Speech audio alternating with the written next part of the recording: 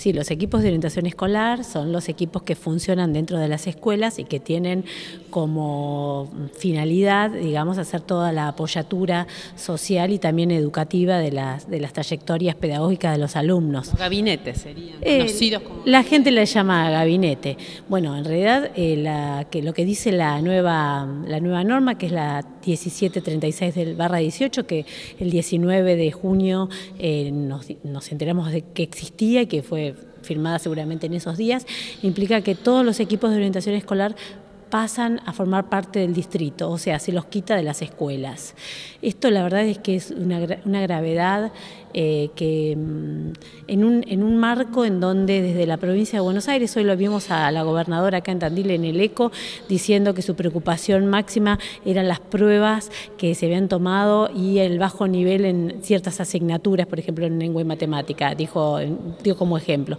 Pues bien, si esa es su preocupación, es increíble que saquen los equipos de orientación escolar, que justamente es la apoyatura que tienen los chicos que tienen ciertas dificultades para poder afrontar con éxito su trayectoria educativa. Pero más allá de eso, digamos, y profundizándolo, diciendo, cuando nosotros estamos diciendo que los nenes que tienen algún tipo de discapacidad tienen que estar en la escuela común con sus compañeros, no solamente eh, para sociabilizarlos, sino también para que tenga su trayectoria edu- Sí, para educativa ahí, para aprender, le quitamos justamente el, el sostén, que tiene cada escuela para que así sea. Es muy llamativo y aparte porque los equipos de orientación escolar es marcan la diferencia entre una escuela de gestión estatal y una escuela de gestión privada.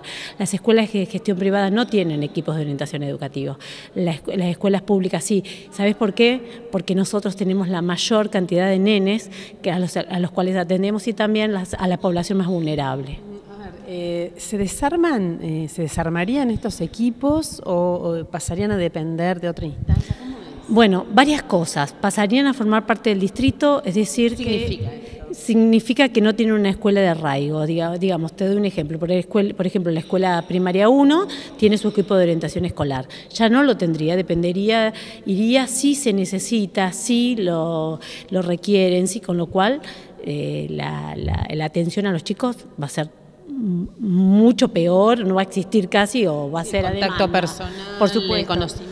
No es lo mismo que una misma persona esté durante todo un año que vaya eh, vayan 10 personas distintas de 10 equipos diferentes. Pero aparte porque en la misma resolución se dice que un equipo puede estar formado por una sola persona con lo cual ya dejaría de ser un equipo. Esto es un, equipo interdisciplinario. Ahí tenemos una trabajadora social, tenemos una maestra recuperadora y tenemos una orientadora edu- educacional, que vendría a ser una psicopedagoga o una licenciada o un licenciado, porque uno a veces habla de mujeres, pero en la educación también hay hombres, por supuesto, eh, un licenciado en ciencias de la educación. También en los equipos en primaria tenemos fonaudiólogos y en psicología, que tenemos dos SEC, nosotros tenemos médicos, o sea, no es lo mismo cualquier cosa.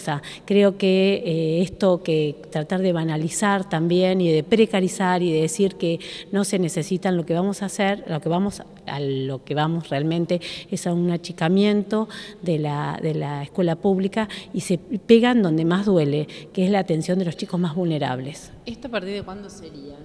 Ya, ya, porque de hecho en los en el sistema en el sistema virtual ya todos figuran como equipos de distrito, o sea, no no tienen una escuela en donde están ancladas, anclados a pesar de seguramente que en algún punto deberán respetar los derechos de los titulares que han titularizado efectivamente dentro de una planta funcional de una escuela. Pero bueno, eh, lo que debiera ser no siempre es y bueno, este gobierno lamentablemente nos tiene acostumbrados a respetar los derechos de los docentes.